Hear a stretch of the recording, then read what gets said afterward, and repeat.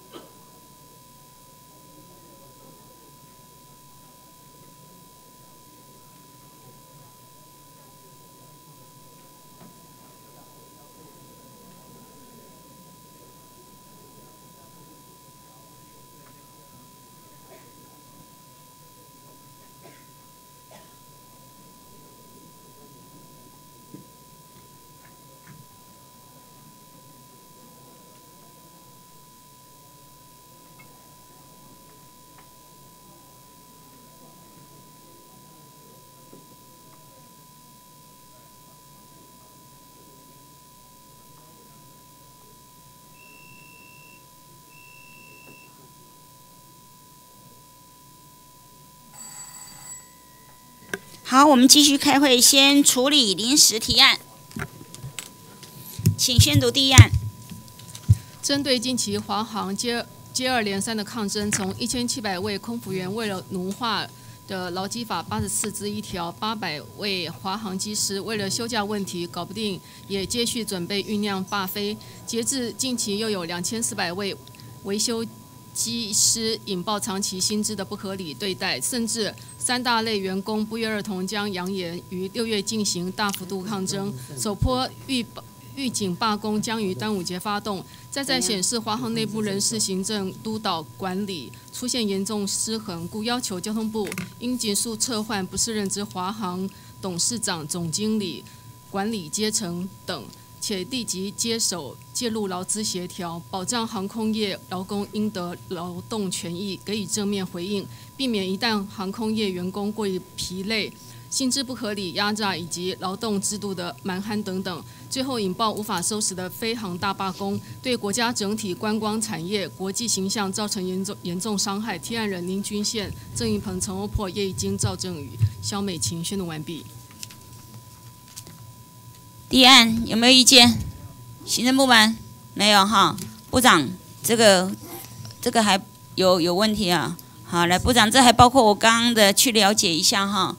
他们是不是因为他们的罢工，好，是不是因为罢工而调高了机票的票价？这样是不对的哈。好，来。是呃，报委委员，那个有关华航的事件处理，我们也要求华航。管理阶层要赶快去呃善意的沟通哈，呃加速多几次的一个协调。那这一部分相关的人员是不是等他们处理完了以后，我们再来做检讨？这边是不是暂时呃把它要求交通部紧速撤换，改成建请案？改成建请案好不好？林俊宪委员，他不在。每次都建请，你们都要处理好了哈。好了，改建请案了哈。来，请宣读第二案。没有麦克风，麦克风。鉴于台铁局办理台铁整体购置及汰换车辆计划一百零四至一百一三年，台铁十年购车计划总经费九百九十七点三亿万元，经查其中。其中，城际客车六百辆高居购买量之冠，所需经费为四百三十八亿元。目前，台湾西岸十年来已有高铁为长途快速运输，台铁局势必考量双铁运输能量的竞合问题。基于台东、台湾东岸目前仍是一票难求之困境，且目前采购之倾斜式列车仍无法满足需求，故建议台铁局应在该计划中考虑。横平东岸的整体需求，尽速增列购置倾斜式列车，且数量不得低于百分之二十，方能有效提升东部地区的整体运输量。且透过南回铁路电气化完成时，提提高速提高速度，让台东到高雄、花莲到台北的运输便更便捷。对政府努力提升偏乡在地的文化观光发展，发发挥真正的实质效益。提案人林敬炫。郑运鹏、肖美琴、叶以金、陈欧珀、郑天才、赵正宇宣读完毕。有没有意见？好，部长说明还是局长？除了这个以外，哈，部长，我要提醒段宜康委员有披露台铁的车厢采购呢有问题，哈。那在五二零之前急着要要采买，啊，被交通委员会挡下来了。那现在已经。是新政府了，请部长要特别谨慎小心去去了解一下哈。好的，一定，谢谢。我是不是这个关于比例的部分让这个周局长报告？好，跟委员报告那个，我想倾斜式列车啊，它是一个提速的一个车辆，它确实有它的优点，但是它对我们的电车线的影响。跟我们对我们的轨道的这个破坏是非常的严重，因此我们现在的新的购车计划，我们是希望说委员的建议案呢，是不是不要有数量的限制？因为这件事情啊，我也评估了很久。好，那我想说有有各有利弊。我们应该是说东部不可以少于百分之二十，而不要限制它哪一种车型不要少。你倾斜式列车才适合东部使用嘛？就就南回，因为现在的动力都改变了，就南回北回嘛。其实我们希望能够加大马力，加大马力的话，反而是可以做。你如果非倾斜式列车，你开那个山路你怎么开？你要加速减速，加速。对，我们也同时希望做路线的调整。是委员跟您报告一下，我觉得现在东部真正的问题是容量，未必是速度了。所以我觉得这个比例上面，让我们来兼顾它的一方面的直达车服务，一方面加大容量，让这个一步一票难求的事情能够得到改善。对对对对对，对，就是说让我们来在在在比例上面，让我们来兼兼先顾各种把你比例是多少？啊？你自己说啊，局长你说啊，帮你比例是多少啊？这个部分哦，如果是要再买倾斜列车的话，因为我们整个车队要整个车队的规模来考虑，现在的话是 PP 车延寿计划。另外，我们的倾斜列车是八个卡，已经是算是整个全世界的车队最多不然就改了。为主席才是那个不得低于嘛。不是，就是数量不得低于百分之二十。这个件事情，我是建议是不要放弃。我这样我们是不是为了这个东岸呢？我们可以要求说，我们采购的列车的比例要有一定比例给东岸使用，但是我们不要限制，因为这样不好，就是限制人家要用哪一种车型的，好，没有，我们我们还是要明定，一定要拉长到十二节车厢的，因为过去采购的都是八节车厢的哈、所以这是那那容量，这个运量容量，非常我们会去的朝这个上面。运量的有限，所以所以如果要明定的话是，我建议是以车厢数来来做一个明确。那车厢数以及以东部优先使用东部的城际列车。其实这样子的话，其实对我们在执行上来讲更好，因为有些人还会问说，为什么不是十一？为什么不是不是十三？为什么要十二？我们都要去解释、去分析。对对。那如果是这样的话，我十二是因为月台的长度啊。对对对，我们还包括了很多，因为我们已经进入长编组的时代了。哎，是。那要怎么改？文字要怎么样如？果是这样的话，就是请紧速增购这个这个十二节车厢的这个容量。我们不要紧速增购。哦，我们认为这个紧速增购有问题。我们是要说你在购置的呃，计划里面要考量东岸的整体需求，那么应该要提呃增加这个列车十二节车厢的容量，方能有效提升东部地区的整体运输量。好，这样可以吗？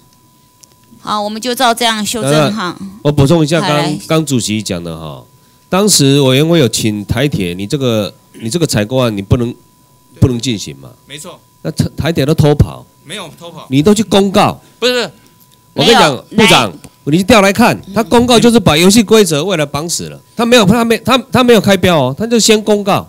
是你那个部长。蓝蓝尾耗资工程，那是。七十几亿你也公告，是部长哈，我我这样说了哈，我们交通委员会有要求五二零以前要暂停，但是呢，他五二零以后他就马上进行了两波公告，哈，进行了两波公告。这个这个，请部长去了解一下。不是，我利用这个机会说明一下，那个部分是大家最没有争议的，是六是支线的，有它是没有争议？有没有争议？不是你讲的嘛？那这个委员会有决议，不是我们你就不要偷跑嘛不是没有偷跑，绝对他没有偷跑，因为他五二零以后就赶没有没有偷跑了。你公告只是没有没有进行招招商了。那你你把你把你把一些什么，这个这个就是文字上他没有偷跑啦，他是五二零。实质上你就偷跑。嘛，你就把一些游戏规则给绑死了嘛。好，这个我们来来了解一下。部长你去了解一下啦实质上不会造成说匆忙之间造成其他的这个图利不好了。好我们一定会来这样做。谢谢。是，来啊，部长，我要再提醒一下，这是五二零之前的计划。是好，那既然有有很多委员提出质疑，那这个计划如果在五二零之前被质疑，但是五二零之后执行，那你还是账会算在我们头上啊。了解了解了解。所以要特别谨慎一点先先做。了解，要谨慎。请特别谨慎一点好，谢谢这个提案就照文字修正，文字的部分再请行政部门跟议事人员来做沟通哈。好好，一定一定。谢谢我们只有两个案处理完毕，谢谢我们接下来继续执行，请回。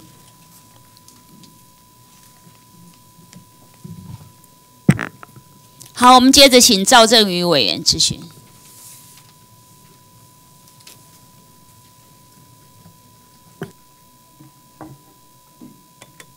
呃，谢谢主席哈。那请部长哈，那贺真部长。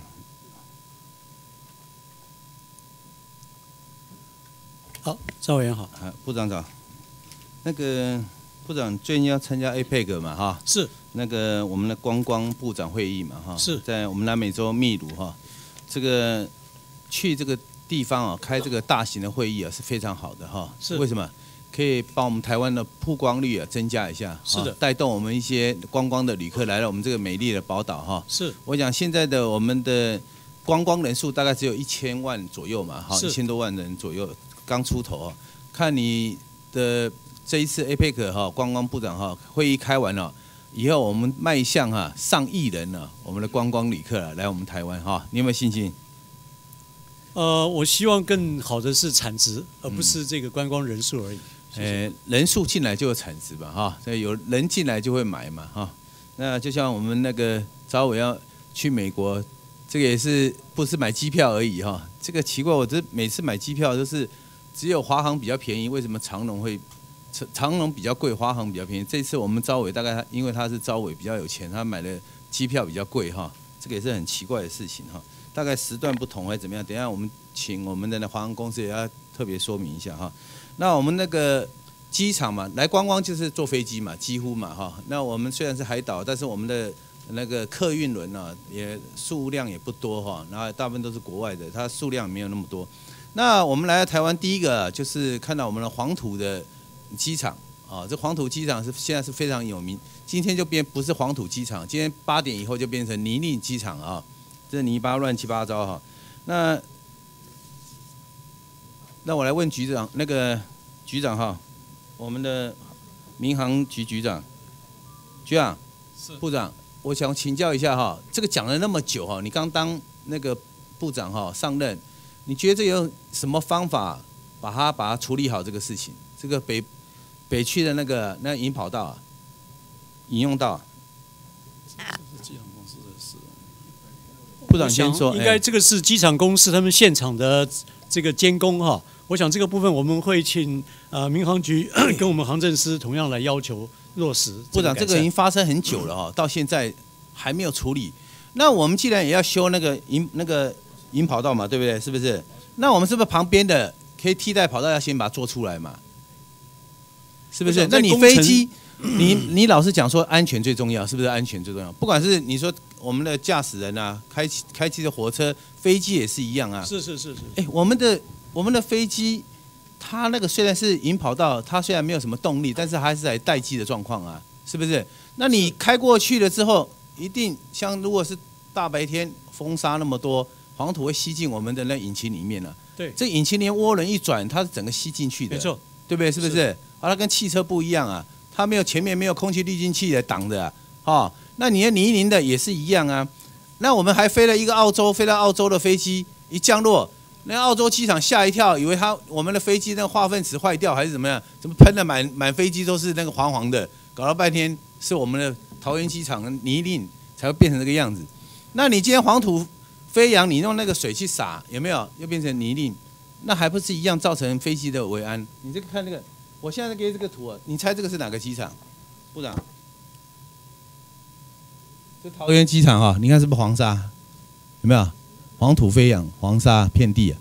啊，这什么机场？你看到那么干净，晴空万万里啊，是不是？这是哪里的机场？这么干净？这内蒙古的，内蒙古它那个它那个气候是什么？草原气候哎，也是非常干燥嘛，对不对？是不是？它黄也黄土飞扬，它为什么没有这样？所以说这个图告诉你哦，这个我们这个桃园机场这么大个机场哈、有没有这个一个引道而已损坏哈、到现在已经讲了几个月还没有把它修好，我觉得这个对我们的飞安是非常重要。部长，你有什么看法？可以把这个做好？我想这个就是机场的施工啊，它在这个现场的呃这个相关的这个程序是不是要落实？这个我不是你滑行道现在就有问题嘛？你是不是要先做一个临时替代的滑行道？有没有？再去修这个主滑行道，是不是要这样子？我想这个整个你们施工现在连计划动都还没应该动有必须考虑到整个机场现场的状况了。那我想您刚刚的提醒，我们给他们做这个建议，看看怎么样来整体规划。好了，那我们平常一上飞机啊，大概舱门一关嘛，大概五分钟哈、大概就可以拖车子拖出去，就是到滑行道，然后到主跑道嘛，对不对？那现在大概多久？二十分钟，有时候得三十分钟，塞机耶。你现在下来也是一样啊，塞机也是很严重啊，是不是？我觉得这个机场哦，这个桃园机场是我们进出的门户哦，是非常重要的事情哦。我讲部长您新上任啊，一定要把这个问题先解决的样问题哈这个是非常重要，对我们的那个我们的国门哦，这个是非常重要的事情，请你多加油一下，是是好不好？是是是是是是。那我们请那个观光局谢局长，部长先请回，没关系。好，不敢当，谢谢。请谢局长。谢赵委好生早哈，你好。那我刚请问部长了嘛？我们的观光人数在一千万人嘛，哈。那1034大陆人那个进来的观光旅客大概多少人？呃，四百零八万啊，四百零八万，你也讲了嘛，哈。那现在我们四五月份掉了多少？百分之多少？十六吧，到二十吧。五月份大致上是百分之二十左右，那对吧16自由行到20哎嘛自由行是稍微下降一点点的。你也知道，我昨天有几个朋友，呃，找我聊天呢、就是聚聚一聚嘛，哈，都是观光业者哈。那不管是呃呃购物的啦，呃旅行业的啊，啊，还有那个像你看这个人数啊，观光来人数有没有？就像我们刚开始导入席啊，那个导入期啊，成长啊到茁壮啊，现在变成衰退了，看到没？这个陆客对我们影响很大。那我问我那些朋友业者，我说，陆客跟日本客人来台是最多人嘛，对不对哈？那我问他们，你们觉得陆客消费能力高还是日本客人消费能力高？他说大陆人是消费能力比较高，因为人数的问题，他人数进来比较多。我想不管是人数少的冲击非常大，我想你看。还有很多观光业者，我们大概有八个地方哈。那个下一个，把那个人人那个人数找出来，下一个。哦，人数哈，你看，我刚才讲这些哦，这个对我们的影响非常大哈。那我们还有一些我们的像游览车业啊，我刚才讲了很多个行业，靠这个观光的行业的这些商店哦，它的生意是非常差，你知道，一落千丈。以前一那个游览车叫都叫不到。局长，现在随便你叫都马上都有啊？为什么？陆客减少嘛。那大陆人、大陆地区的民众认为哈，还有他那个大陆的那个官方认为，我们这个新的政府上来，他是不开放我们陆客，不管是自由行还是观光，有这种回事吗？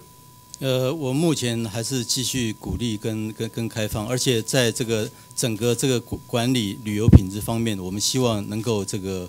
把把这个整个旅游品质提升的更好，我们欢迎更多的陆客来。我想你你既然讲旅游品质提升，你看日本是小小一点点啊，是不是？那我们国人去日本的人数多不多？是最多的，因为距离近嘛，哈，因为它的那个生活饮食文化还有人种哈语言沟通方面都比较方便。好，我们早期的长辈都会讲日语嘛，哈。那日本人，我们台湾人到日本人的数量是非常多的，人数非常多。那我们日本人到台湾的数量没有这么多，所以我们要如何提升我们这个岛内的我们的那那个观光的那个资源哈？我想不是你观光局而已啊，地方政府的观光局还有哪里？我觉得文化部也很重要，还有我们经济部，我觉得这个三个单位啊都要在一起来配合哈，把我们任何一个我们的有非常好的地方的一些特色啊，精致，我像我们台湾都走精致的路线。要跟着日本一样哈，走精致路线。我想哈，这个我们的陆客哈又回来，不止陆客，我们不是只有靠陆客，我们还可以靠别的那那些国家的人哈，像邻近的国家日本啊那些来这边观光。那我讲一个举一个例子啊，这个我前几前一阵子去的日本，那个不是香港啊，香港你看现在因为陆客现在少了，他生意非常差。那澳门也是啊，他现在严打嘛，对不对？他现在也是生意非常差，但是他有没有？广告另外一种形式有啊，他鼓励人家来他那个地方去观光啊，不是来赌博。你看他有很多特色，有没有？是，反而他的电视广告是很告诉你他很多特色，引你要来，所以这个非常重要。还有穆斯林，看很多委员讲我们的餐厅，但是我们的宣传力不够啊。那穆斯林那些朋友他不知道，哎，台湾有对这个东西啊非常友善，穆斯林的朋友那么友善啊，对不对？是不是？他搞不清楚啊，那我你说你我们餐厅呢增加那么多餐厅，到底位置在哪边？一般人不知道。你可能说哦，上网查就可以查得到。局长，你有没有什么构想？那穆斯林这些，我们六月六号他不是那个斋戒月吗？不是完了之后哈，斋戒月完的时候，他们就开始出出国旅游嘛。那他们的观念就是这样子，全家大小出国旅游。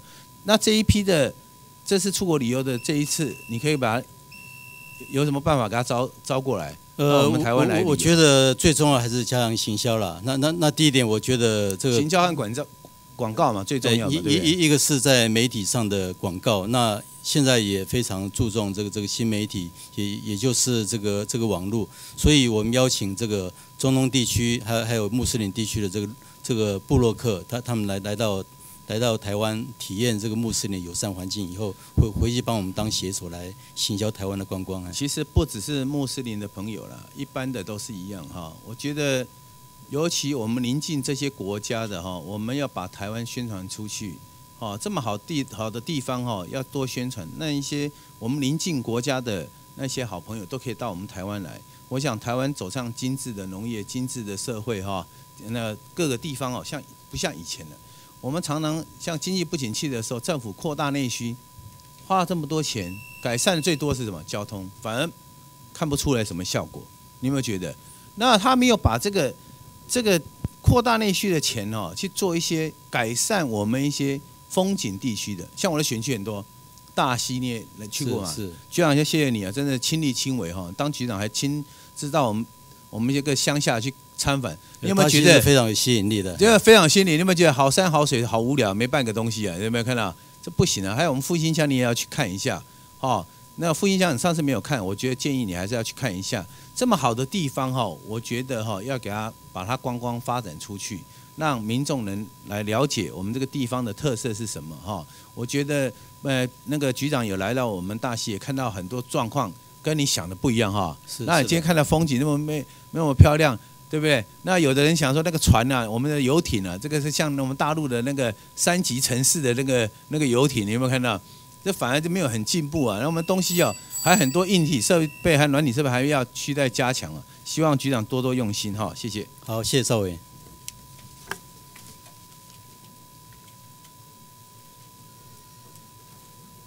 好，我们接着请陈树月委员咨询。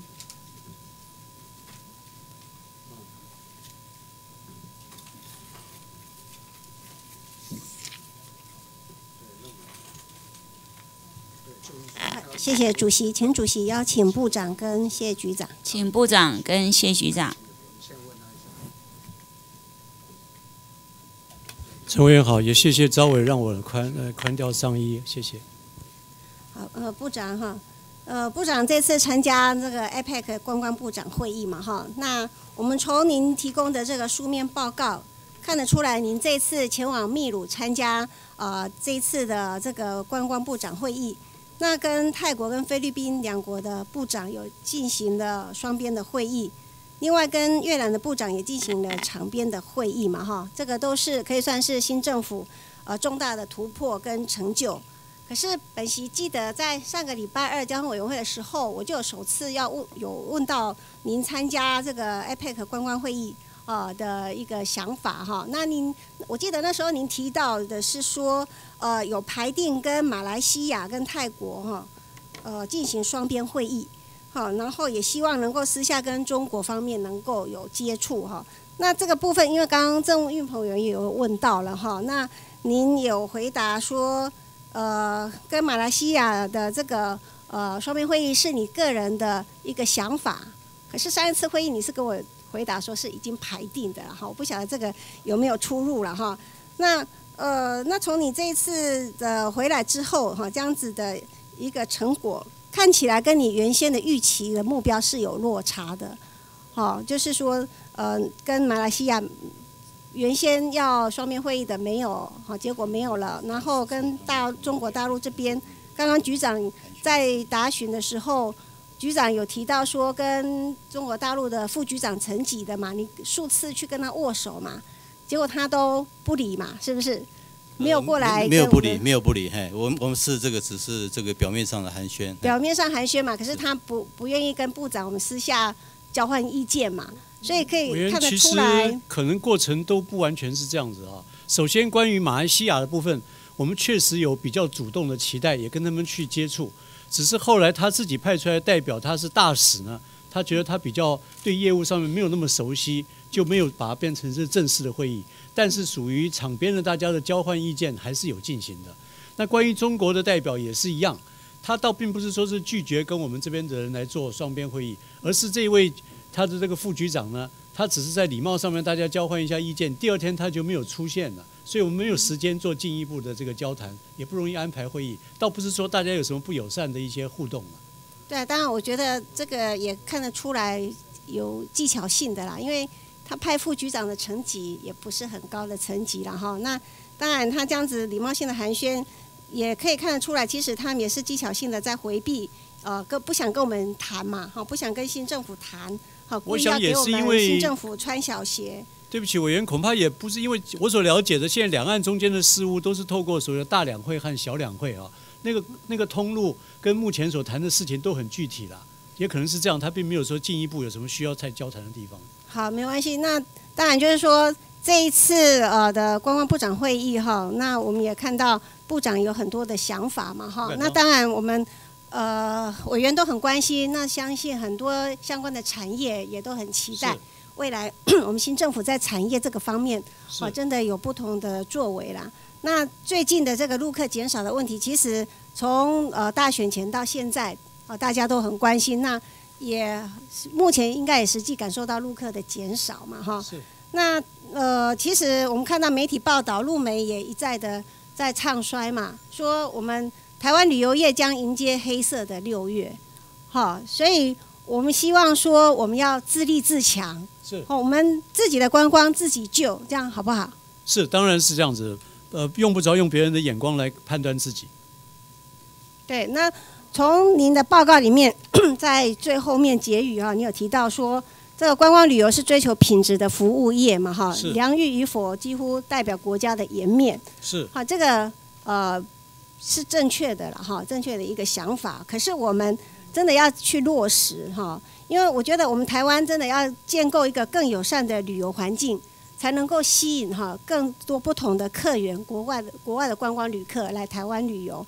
那呃，在这个方面哈，呃，本席有几点建议了哈。因为本席有的朋友哈，最近才刚从瑞士回来，他就反映到说，像瑞士这个白朗峰或少女峰，他们的的厕所都非常的干净。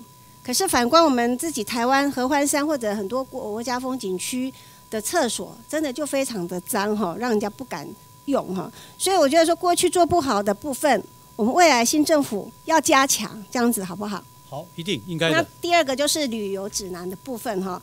呃，我呃从日本旅游回来朋友也有告诉过我哈，就是说在日本很多旅游区、旅游风景区或者是交通工具上面。都有大量的外语，哈，至少四国外语的一个呃标示告示，所以他们会让旅客就是说觉得 不懂日语也可以很轻松的在自助旅行了哈。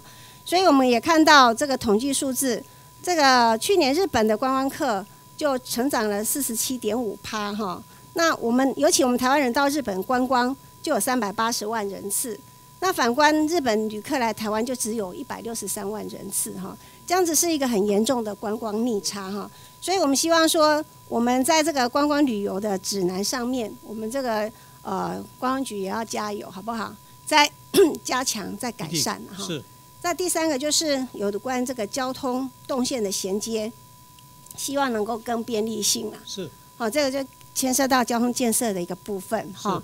好，那再来就是部长在嗯三次第一次来做。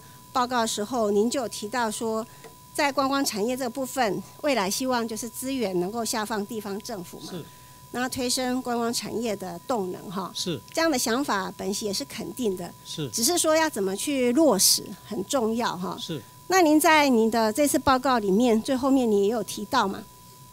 从竞争面来说，你说呃要不断的发掘地方的特色，加以创新，包装成专属独卖的旅游产品哈。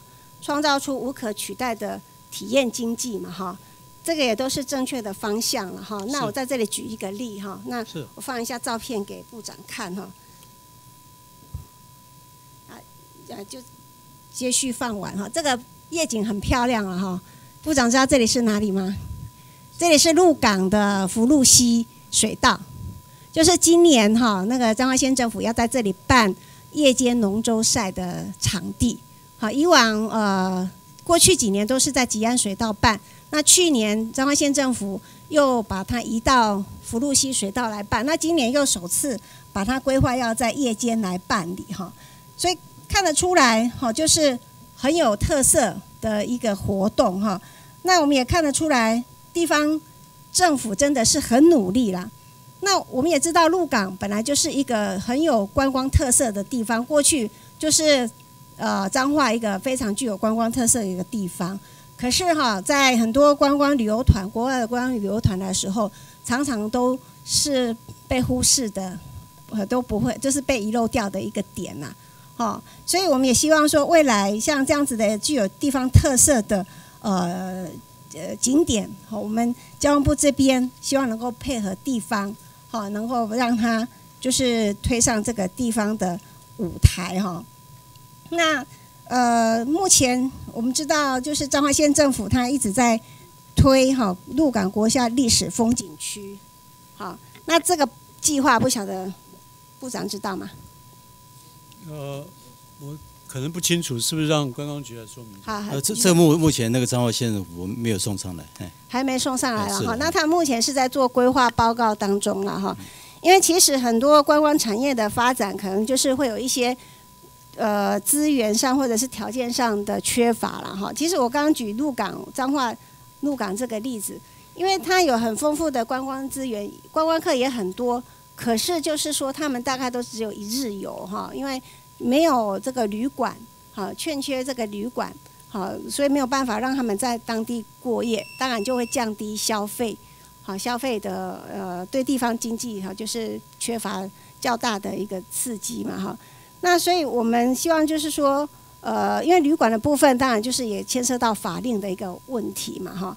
那我们也希望说在彰化县政府呃在推这个鹿港国家历史风景区这个部分呢，未来我们呃中央能够大力支持这样子好不好？是，呃，我们会协助。目前他们的计划哈，就是有包括几个部分了哈，因为他们呃大概就是研拟出的这个呃国家历史风景区里面包含了六呃五大面向的一个推动计划，就是包括博物馆计划、环境风貌计划、文化计划，还有观光计划跟交通计划五大面向来推动了哈。当然，这观光跟交通就是跟我们交通部有很大的一个关系哈。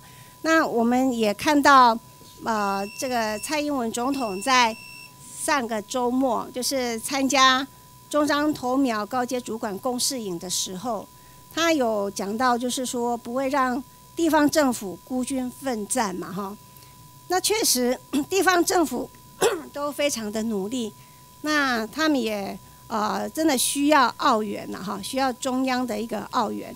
那我想再次请教这个部长了哈，因为您有提到说资源下放地方政府，呃，推升观光产业的动能，哦，我有一再的提到，就是如何去做，如何去落实是非常重要的。那在这部分，呃，部长的想法是怎么样？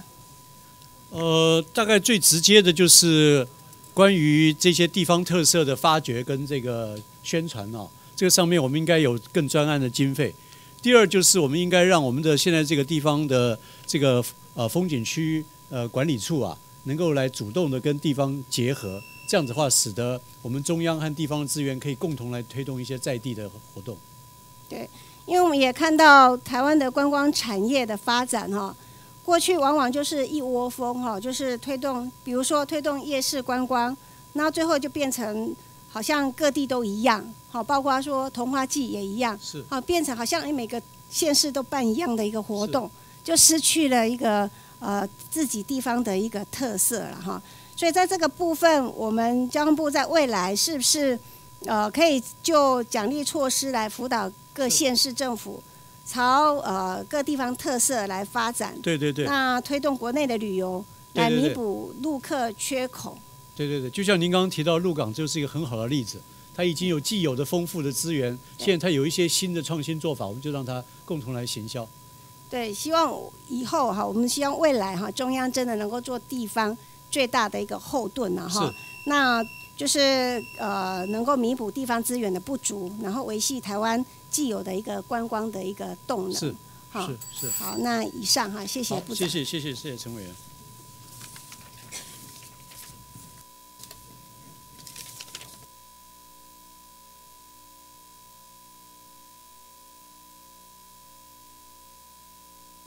我们接下来请小美群委员咨询。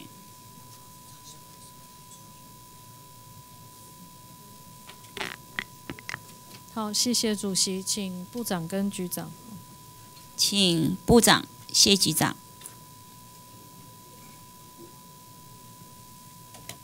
好，肖委员好。哎，呃，部长好。我想最近这个陆客人数的减少哦，刚好是一个我们来整体检讨旅游产业的机会哦。那呃，一方面啊，检讨过去这个呃过度依赖单一客源的国家哦，以及整个低价旅游哦，对我们整体观光产业升级哦所带来的影响哦。那我们就这个机会哦，刚好也用更多的努力哦，来开拓一方面新的客源哦，另外一方面，整个就我们现在的观光产业的结构哦，来重新的检视。是。那么在呃最近有看到相关的媒体报道哦，就是泰国哦，他们当然观光对他们整体国家的产业是一个非常重要的一环哦。那对呃这个报道是就中国的旅客哦。因为身上的钱带的不够哦，现金带的不够，所以就被原机遣返中国哦。为什么？因为泰国认定说你要到泰国来旅游，你就一定要消费。那你没有带钱，你就可能是没有准备要消费。如果只是刷卡，可能会进入到一个一条龙哦，一些特定的这个店面里面。所以就把这些中国的游客整个都原机遣返就送回去了哦，那不让他们入境。那我觉得这是一个很有魄力的作为。我不是主张我们也这样做，但是我觉得这个凸显了泰国政府哦要吸引更高端、愿意消费，而且这个消费一定要到这个基层的各个产业里面来的一个用心哦，而不是只是啊以一条龙跟刷卡的单一模式来进行的。整个旅游消费行为，那我们看看他们这样的一个 example，我们再来解释哦，我们台湾现在的旅游形态。那在我们检呃重新检讨的过程当中，应该是几个重点哦，一个就是啊分流。那我刚刚也提到啊，其他国家的旅客来源啊，其实我们在各个地方的啊外语的。的行销，我觉得是可以加强的哦。你们的报告里面有提到网络科技的运用哦，可是其实我们很多，我们如果要就景点的分流的角度来看，其实要落实到很多的乡镇哦。那这些乡镇公所未必有那个资源跟能力去做外文网站的规划和啊这个维持。所以这个部分，我觉得还是要中央的资源需要有所挹注哦，让呃国际的游客对于一些过去比较少听到的小城镇，它相关的旅游资讯哦，能够有更充分的掌握。那第二个前提就是说，公共运输一定要落实，也可以抵达这些啊这些比较小的乡镇哦。那这些小乡镇，它不是没有魅力，它虽然没有设计大的国际级的景点。但是我相信啊，从现在国际上很流行的这个 eco tourism 跟这个 agro tourism 好农业旅游跟这个环保旅游的形态来讲，很多过去不为人知、比较人烟稀少的城镇是非常有潜力来开发新的观光资源。所以我们在整体规划的时候，希望我们的资源的配置上也能够重新来做一些。分流跟分配啊，那呃，我想这是第一个重点。那第二个就是对这些小城镇的资源啊，它在国际网络的以及国际资讯的啊整理规划跟行销上面，也希望我们中央能够挹注哦，不管是人力也好，或者是资源。了解，好。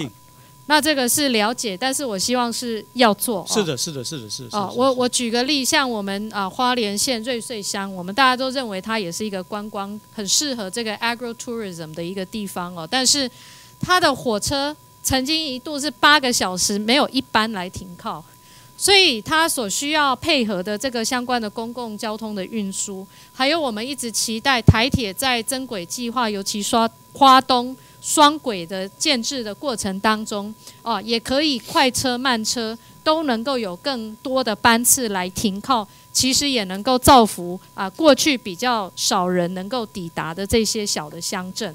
那所以我在我期待说，未来我们整个建设的方向还是以观光资源能够分流到各个卫星的景点，哦，能够到过去比较少人去的这些地方，让观光资源可以落实到全民共享这样的一个方向哦。部长，呃，您的态度呢？我我想这个您刚刚讲的真的都是非常深刻的做法。首先就是特色不单是要有，还要做行销哈，特别是对于外面的这个大大的呃外语的世界这个部分，我想绝对是应该我们在帮助地方上面优先要来做的事情。第二就是关于中央更应该集中的资源，就是让公共运输的可及性哈要提高，而且这个可及性还要变成说它在转乘上面的资讯也一定要提供，这样的话才不会变成这边空等啦。或者是不知道什么时候有车子来，这样子慢慢让这个偏远地区变更加遥远以后呢，这些特色也不会被大家所享受到。我想这两图我们都马上要来做。对，那我想一个重点就是要让我们的外呃外地来的观光客了解，我没有车也是可以抵达得了这些地方。好，所以我们整个交通运输规划的方向应该是这样。没错没错，我们不希望这些观光区都成为塞车的的的地区哦，所以相关的配套是很关键的。那部长刚呃参加了这个 APEC 的观光部长会议哦。那在秘鲁其实一个很重要的景点是大家所熟悉的 Machu Picchu 哦。当然这次部长时间少，大概是没有办法去哦。那我过去曾经这个失业的时候有机会去到哦。那那 Machu Picchu 这个地方哦，它没有公路可以去，它只有两两两条路，一个就是搭火车，另外一个就是走路。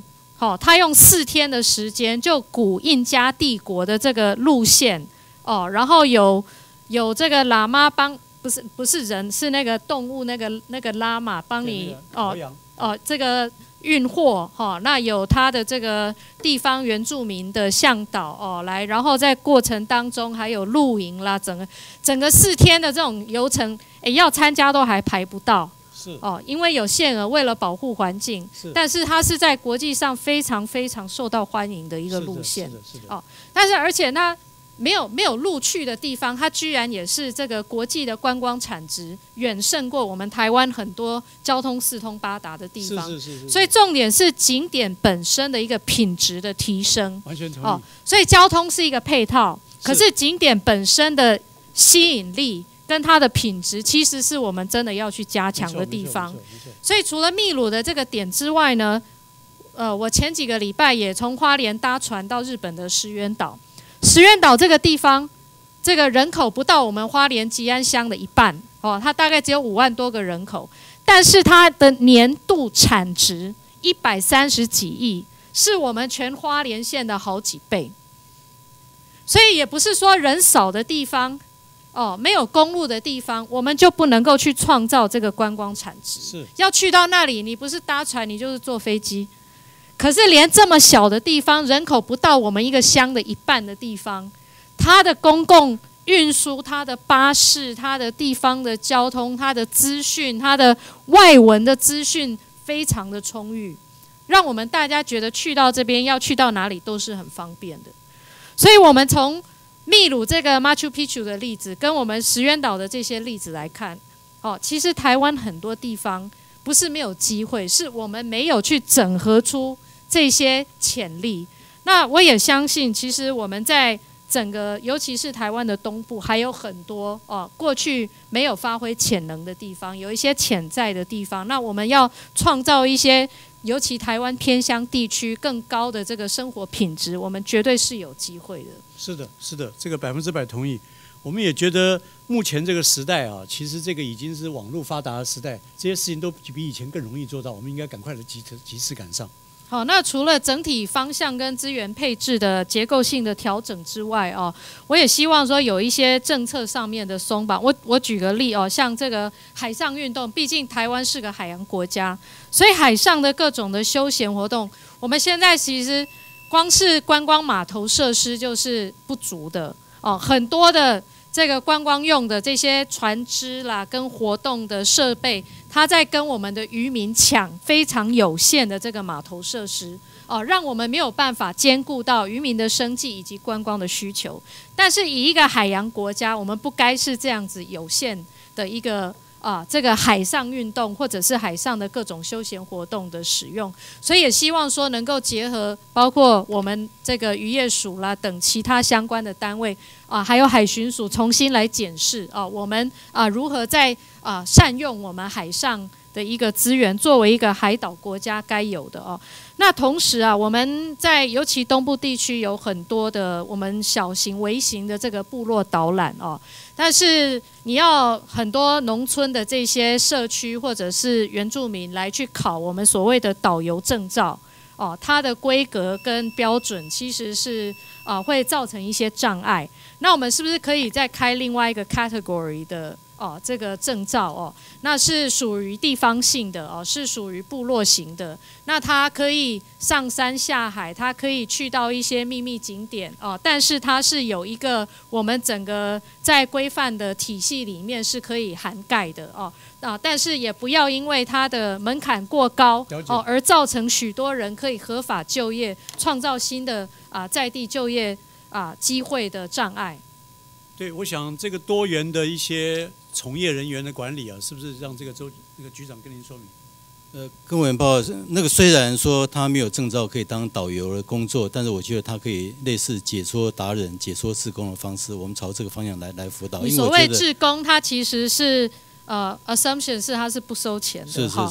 那其实我们要的是创造就业机会，我们要创造更多元的一个旅游的形态。所以，也许除了我们现在法定的所谓导游的这个工作类别之外，我们是不是还能够有另外一个啊，是可以认证的，是可以有一些 licensing 的这样的一个啊，这个地方型的啊，制导览的啊相关的工作人员的形态哈？那可以纳入我们整体的啊配套。啊，套装形成的相关的规范当中，呃，是的，我了解，就好像是这个地陪的这个工作，我我们会来多元辅导。好，那除此之外，哈，还有呃，像一些特殊旅游需求，像这个呃开放性的水域的这个救生，哦，它跟一般游泳池所要求的救生员的需求也是不一样。所以我们需要有很多的配套，这个不管是我刚提到的作为海洋国家的水上的活动，或者是野溪啦这些河川当中的各种的溯溪等啊，还有泛舟的这个救生需求啊，我们也需要很多的配套哦，是要超越过去的这些法规的限制哦。那也希望这些能够一并哦做一个总检讨。好，应该的。好，谢谢。嗯，好，谢谢。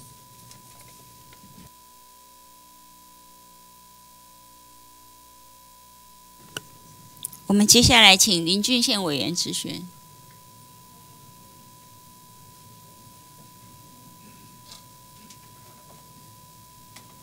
啊，谢谢主席。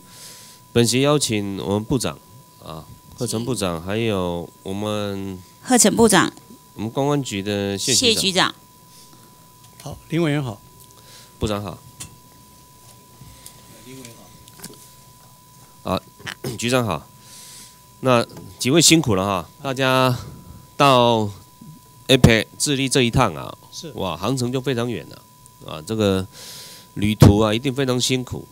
谢谢。那回来哈，要马上要面对那么多的事情啊。局长不部长，在你这次参加 APEC 的会议啊，我们当然主题是观光了哈，所以 APEC 相关国家的观光呃主管观光的部长都到了。那也达成了几项你们讨论的重点当中，我看到其中有一个啊，就是 APEC 的经济体，大家要航空联结了。是。啊，那包括智慧呃，包括简化通关呐，甚至免税呃免签证啊，哈，退税服务啦，友善机场啊，保安防恐等等。这其中啊，我先跟部长讲一件事情。请说。我要咨询的这个时候啊，刚好有朋友打电话来。现在外面下大雨啊，突然间的大雨，那国道啊已经没有办法进出桃园机场。现在国道要到机场的道路啊已经淹水了，所以呢交通大乱、大打劫，所有的车子呢只好自己找路，由地方的小路啊绕到旁边的眷村啊。从机场去进出，因为我们的出境路径啊，到机场国道有一个地下道哦，双向的，水淹起来了，车辆没有办法通行。所以机场管理啊，其实很多问题啦啊，像这个没有下大雨啊，你们不会去注意啊，没有管理到了，雨一下来呢，就检验到了。那除了这样以外呢，我们今天明良局长有没有来？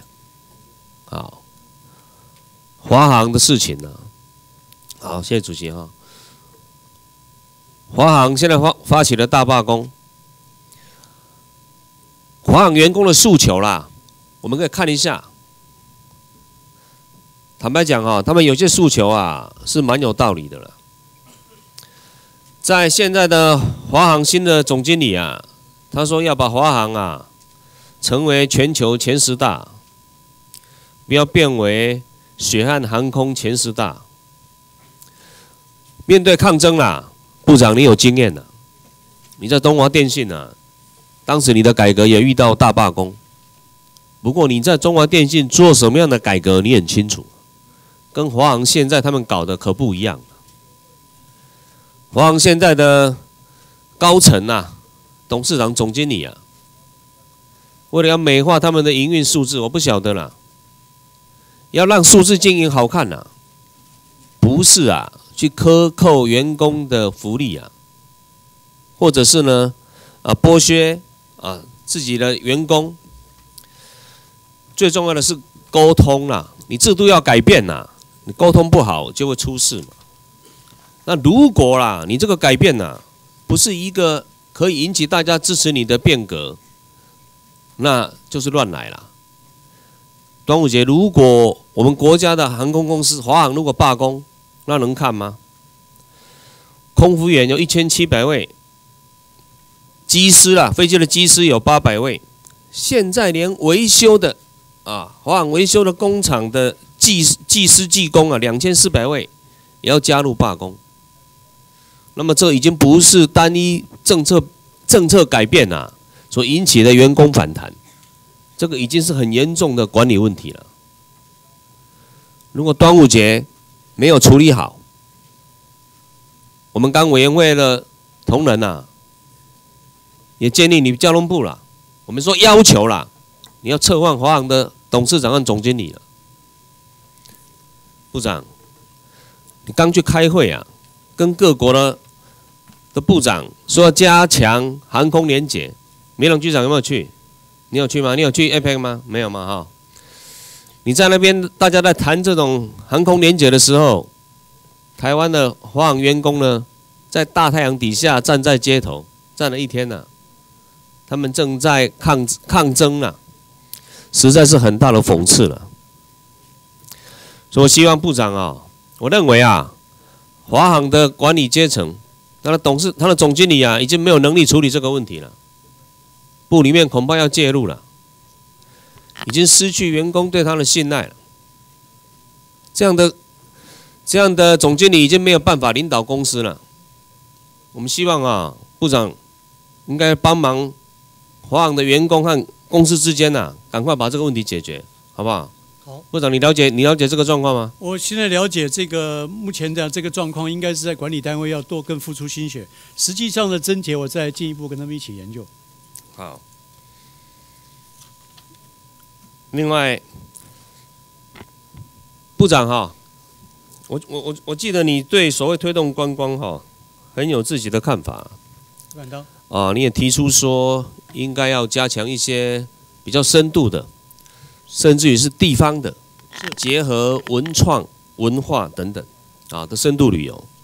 那我这边有提几个啊，可以让部长来建议了。是的。刚 我们关心说，大部分的旅客到台湾来，都来台北，大概八成到台北。那其他能够到我们其啊其余中南部去的啊，其实是不多了，少数了。那我认为其中台南哦是很有吸引力。是的。哦，台南有很多的观光客。那我们台南市的赖清德市长啊，市府团队啊，也极力的啊啊，希望能让更多的旅客来。那当中我曾经提出了这个民宿了，民宿的需求。台南的民宿啊，坦白讲有很多做的品质都不错啊，那也很得到很多旅客啊啊都赞赏啊。现在到台南来住民宿啊，是一种特别不一样的感受。但是因为啊，我们民宿其中有几个规定啊，包括民宿规定，你只能在非都市计划区外才能申请民宿啊，这造成台南的旧城区啦，像安平区和中西区啊，大概有为数超过四百家的民宿，这市场有需求嘛，所以那么多的民宿那怎么办？没有办法纳入管理啊。那我曾经多次来在委员会提出咨询，希望观光局啊，要来协助地方政府，因为台南市政府呢，把这两个区的安平区和中西区呢，用双城的历史文化的区来提出一个申请，这个不是第一个申请案哦，鹿港就是这样来解套的啊，鹿港也是用一种历史文化城区呢，然后让它可以作为申请民宿的地方，那台南市政府现在。也送出他的计划来了。我记得公安局长好像跟我说，五月份五月份呐，那就可以来完成相关法令的一个修订了。我不晓得现在进度如何了。呃，跟跟我报这个指定观光地区的画社啊，这这个上上一次因为因为审查委员还有一些意见啊，那那要要我们把这个计划再再报上来。那那那目前这个台南市政府还没有报上来。那那那最近台南市，我想观光局的入港都已经可以合屋合屋申请了。我想台南市的安平呐，像中西区了，啊，那个都是台湾呐文化的起源地了，一级古迹最多的地方，也是观光客最多的地方。那你们应该要协助地方政府来解决困难了。呃，最近我已经约了这个协助台南市政府能够把那么多的几百家的民宿赶快纳入管理嘛。是是是。哦，我我们我们我们来协助。好，另外哈，我再跟部长。提一件事情请说。说的那个深度旅游哈，其实原来有个计划，我本来觉得不错了，就是呢，我们台铁了哈，台铁今天也在哈，台铁跟日本的一些铁路公司哈，我们组一个铁道联盟，我不晓得部长知不知道？呃，我不清楚。你不清楚啊？哈，因为啊，这台湾跟日本有一些历史文化的渊源呐，都有。都有过去留下来的这种老铁路了，那有很多铁道迷，所以我们台湾呢有一些像内湾线、集集线啊，还有我们东北角，还有平西、深澳线，都跟日本的几家铁路公司哦，我们来互相做铁道联盟，也就是呢，我帮你宣传，你帮我宣传啊，可以买那个一日一日游的票了啊，那么。其中啦，这个绩效如何啦？我可以给部长做个参考啦。日本呢有一个铁道哈，日本有个铁道联盟跟我们的台湾来做互相连结，结果呢，三年呢，过去三年，我们台湾游客啊，有一万四千多个人啊换票哈，在在台湾买票哈，到日本这条这条线去了。啊，然后日本呢有多少人过来？你知道吗？我讲的是平西深澳线，日本人只来了八百多个，我们台湾有一万四千个去哦，日本才来八百多个。那另这是平西深澳线啊，那另外一条吉吉线呢？吉吉线一年了，去年呐，日本客来多少？只卖了八张，只有八个日本客来。然后另外我们台湾一条也很有特色的铁道哦，内湾。内湾线哈，从去年九月到现在啊，我们一张票都没卖出去啊，没有半个日本客啊，因为铁道联盟而来。我觉得这个就是台铁可以改进的地方了，用不用心的地方了。日本人日本跟我们结合的铁道联盟，他们都很用力的宣传，所以你看我们台湾台湾客要去日本都知道哦，都知道要买几条铁道线呐。啊，有优待，啊，有有哪些东西可以看？那我们台湾，我不晓得台铁有没有重视这个东西啦。周董事长，你知不知道吗？你知道有有这样的一个铁道联盟吗？哎，谢谢委员。对，这两年是我亲自跟这些会社长啊谈出来的。那我也觉得谈出来，但是为什么没有没有没有成果呢？不是，我们我们公安局帮很多忙。那那个其实是这样子，有一个那是只有换票的记录了。我们一张票八十块，他们一张票两千块。所以我们的他们一张两千块有差，可以卖给一万四千个台湾客人。不是，他们有有来了，所以我们希望能够推。不是，那个统计是票的统计，我们是希望说，我们希望能够做买票就是一个检证嘛，不是不是，就是看有没有观光客过来。要观光护照好你不要跟我，你不要跟我强辩这个了。我只希望说哈，像如果这样有不错的 idea 啦哈，要实质实际的去推嘛，啊，要要要做得下去嘛，好不好？是啊，我现我是觉得说，哎，台铁台铁跟观光局推这种跟日本的那种老铁路线哦，来互换做铁道联盟，这个点子不错啦。那为什么没有没有观光客来，没有日本客来呢？那为什么我们台湾客知道要去呢？那表示日本人做事比我们用心吗？优惠比较多。一张票两千块，优惠比较多，不是我说用 coupon 的方式会比较吸引。那它可以吸引人，我们为什么不会做吸引人的事情？我想一定有一些连结性的价值行销了，这个我们应该来改进。是不是？好不好？好，推动观光一起来啦。是是好，是是谢谢部长啊，谢谢谢谢那谢谢两位局长啊，谢谢谢谢主席。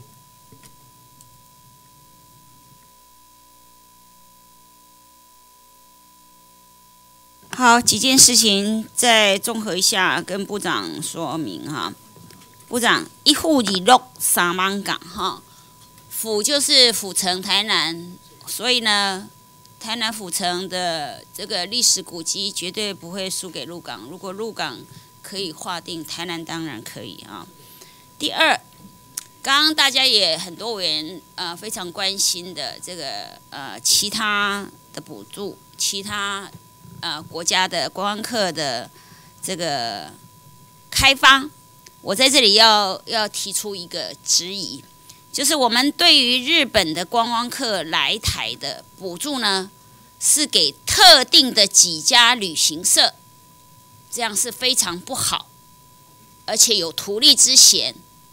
早上有委员讲到叫做客制化观光，我们应该是就这个族群的特色，比如说日本他们呃非常流行高中毕业的毕业旅行、出国毕业旅行，我们只要是高中出国毕业旅行的团，我们给予补助，或者是蜜月旅行来台的团，我们都给予补助，这样才是正确的，而不是特定指定某些个位数的家数六家旅行社给这家六家旅行社补助，其他的不补助，这个有图利之嫌哈，这个这样做法是不对的。那其他家的就不愿意做了哈，我们这样做是不对的，这是过去的做法哈。提醒部长，我们对这样的做法有意见。最后一点是我今天说的绿岛，我希望划定三海里，周遭三海里而已哈，这个。要越快越好哈，我们静待佳音哈。好，我们现在休息，下午一点钟，一点钟我们继续开会。